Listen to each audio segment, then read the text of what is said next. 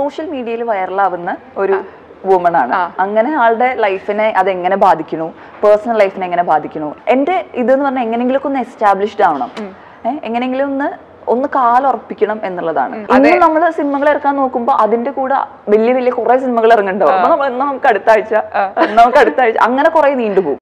Hi hello നമസ്കാരം. അഭിരാമി എന്ന സിനിമയുടെ വിശേഷങ്ങളുമായിട്ട് ഇന്ന് എന്റെ കൂടെ ജോയിൻ ചെയ്യുന്നത് നിഷ്കളങ്കമായ സംസാരത്തിലൂടെ മലയാളി പ്രേക്ഷകരുടെ സ്വന്തം മനസ്സിൽ ഇടം നേടിയ ഒരു സുന്ദരി കുട്ടിയാണ്. ഒരുപാട് സ്നേഹത്തോടെ സ്വാഗതം ചെയ്യുന്നു. Gayathri Suresh welcome to the show thank you so much നമ്മുടെ അഭിരാമിയാണ് പുതിയ വിശേഷം. വളരെ ബോൾഡായിട്ടുള്ള കഥാപാത്രങ്ങൾ ഇപ്പം ബദലിലാണെങ്കിൽ വളരെ ബോൾഡായിട്ടുള്ള കഥാപാത്രമാണ് ചെയ്യുന്നത്. അഭിരാമിയിലേക്ക് വരുമ്പോൾ ടൈറ്റിൽ ക്യാരക്ടറാണ് അതിന്റെ ഒരു ഒരു ടെൻഷൻ കൂടി ഉണ്ടാവും. എങ്ങനെയാണ് ഈ സിനിമയിലെ കഥാപാത്രം എങ്ങനെയാണ്? ഈ സിനിമയിലത്തെ കഥാപാത്രം ഭയങ്കര ഫൺ ലവിങ് ബദലത്തെ ആ പ്രഷറൊന്നും ഇല്ല. പ്രഷർ ഉണ്ട്.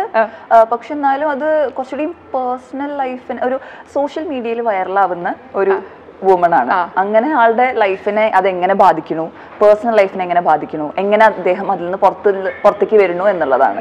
അപ്പൊ എന്റെ ഒരു ലൈഫായിട്ട് കുറച്ച് സാമ്യമുണ്ട്. എനിക്ക് കഥ പറയുമ്പോൾ ഏറ്റവും കൂടുതൽ കണക്ട് ചെയ്ത് ഈ ഒരു കാര്യമാണോ? അതെ എനിക്ക് ആദ്യം കഥയുടെ വൺ ലൈൻ അയച്ചിട്ടുണ്ട്. Girl becomes viral on social media now it affects life എന്ന് പറഞ്ഞപ്പോൾ ഓക്കെ അടിപൊളി. അങ്ങനെ. നമുക്ക് കണക്ട് ചെയ്യാൻ പറ്റും. അതല്ലാതെ ദുബായിലാണ് ഇതിന്റെ അത് ഞാൻ പറയാൻ വേണ്ടി നയന്റി പെർസെന്റേജ് ദുബായിലാണ് ഷൂട്ട് ചെയ്തത്. അപ്പൊ അവിടുത്തെ ഒരു കുട്ടി ജോലി ചെയ്യുന്ന ഒരു കുട്ടി കണക്ട് ചെയ്തിട്ടുള്ള കാര്യമാണോ ഈ സിനിമ പറഞ്ഞു വെക്കുന്നത്? എന്താണ്? ദുബായിൽ ഒരു ഹോസ്പിറ്റലിൽ വർക്ക് ചെയ്യുന്ന നേഴ്സാണ് സോ അപ്പോൾ ദുബായിലാണ് ഫുൾ ഷൂട്ട് ആയതുകൊണ്ട് എനിക്ക് ദുബായ് ഇങ്ങനെ അറബിക്കഥയൊക്കെ കണ്ടപ്പോൾ എനിക്കും ഒരു സിനിമ ഫുൾ ദുബായിൽ ഷൂട്ട് ചെയ്യണം. വെറുതെ എപ്പോഴും അങ്ങനെ ആലോചിച്ചിട്ടുണ്ട്. ഇത് എനിക്കാണെങ്കിൽ ദുബായിൽ സ്ഥിരമായിട്ട് പോയി താമസിക്കാൻ എനിക്ക് എന്ന് പറഞ്ഞാൽ ആ എനിക്ക് നാട് തന്നെയാണ് താല്പര്യം പക്ഷെ എന്നാൽ ഒരു മാസം അവിടെ പോയിട്ട് അങ്ങനെ നിൽക്കാലോ എന്നുള്ളൊരു അതുണ്ട്. ഈ കഥ എങ്ങനെയാണ് എത്തിച്ചേർന്നത്? കാരണം ഡയറക്ടറിന്റെ രണ്ടാമത്തെ സിനിമയാണെന്ന് എനിക്കറിയാം. എങ്ങനെയാണ് ഈ കഥ പറയുമ്പോൾ ഏറ്റവും കൂടുതൽ എക്സൈറ്റഡ് ആക്കിയത് എന്താണ് ഗായത്രി ഞാൻ അങ്ങനെ ഭയങ്കര സെലക്റ്റീവ് ആയിട്ടുള്ള ഒരു എന്താ പറയാ ആളായി ആളായിരുന്നില്ല? അപ്പൊ എനിക്ക് വന്നിട്ടുള്ള എല്ലാ സിനിമകളും ഞാൻ എന്റെ എന്ന് പറഞ്ഞാൽ എങ്ങനെയെങ്കിലും ഒന്ന് എസ്റ്റാബ്ലിഷ്ഡ് ആവണം. എങ്ങനെയെങ്കിലും ഒന്ന് ഒന്ന് കാലുറപ്പിക്കണം എന്നുള്ളതാണ്. അപ്പൊ ആ സമയത്ത് നമ്മൾ അങ്ങനെ സെലക്റ്റീവ് ആയിട്ട് ഇരിക്കരുത് നമ്മളെ വിശ്വസിച്ച് നമ്മൾ പടങ്ങൾ ചെയ്തുകൊണ്ടേ ഇരിക്കണം എന്ന് വിശ്വസിച്ചു. അപ്പൊ അതിലെനിക്ക് വന്ന ഏറ്റവും നല്ല സ്ക്രിപ്റ്റുകളാണ് ഞാൻ സെലക്ട് ചെയ്തിട്ടുള്ളത്. എനിക്ക് ഷൂട്ടിംഗ് ആയിട്ട് വൺ ഇയർ ആയില്ലേ? ഷൂട്ടിംഗ് കഴിഞ്ഞിട്ട് കുറച്ചായി. കുറച്ചായി. കുറച്ച് കുറച്ചായി. ഡിലേ വരെ റിലീസ് ഒരുങ്ങാൻ ഇത്രയും വൈകിയെന്നുണ്ട് അതല്ല ഇപ്പൊ കുറെ സിനിമകളൊക്കെ അങ് അങ്ങനെയാണല്ലോ. ഇപ്പോ ഭയങ്കര ബിഗ് ബഡ്ജറ്റ് അല്ലാത്ത സിനിമകളാവുമ്പോ എന്താ വെച്ചാ അത്ര സിനിമകൾ വരുന്നുണ്ട്. ഇപ്പൊ ഇന്ന് നമ്മൾ സിനിമകൾ ഇറക്കാൻ നോക്കുമ്പോ അതിന്റെ കൂടെ വലിയ വലിയ കുറെ സിനിമകൾ ഇറങ്ങുന്നുണ്ടാവും. അപ്പൊ നമ്മൾ നമുക്ക് അടുത്താഴ്ച നമുക്ക് അടുത്ത ആഴ്ച അങ്ങനെ കുറെ നീണ്ടുപോകും.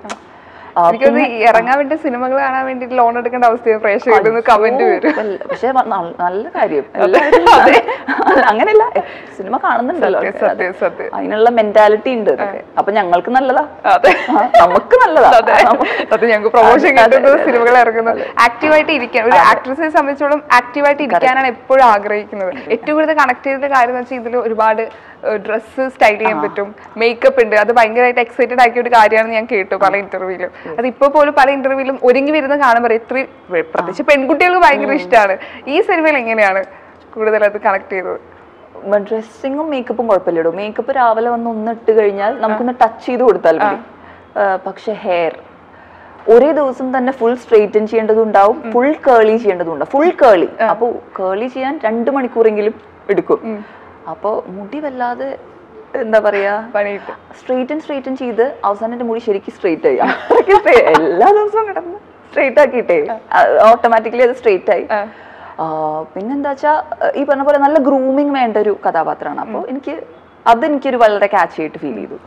ഈ സിനിമ റിലീസ് ആവുമ്പോൾ കരിയർ വെച്ച് ഇത്രയും സിനിമകൾ ചെയ്തതിൽ വെച്ചിട്ട് ഈ സിനിമ എനിക്കൊരു ഇനി മലയാള സിനിമയിൽ സജീവമാവാൻ വേണ്ടി ഒരുപാട് കഥാപാത്രങ്ങൾ കിട്ടുമെന്ന് ഉറപ്പുള്ള ഒരു കാര്യമാണോ ഈ സിനിമ? അതിനെക്കാട്ട് കൂടുതൽ ആൾക്കാരുടെ മനസ്സിൽ നിൽക്കും എന്ന്.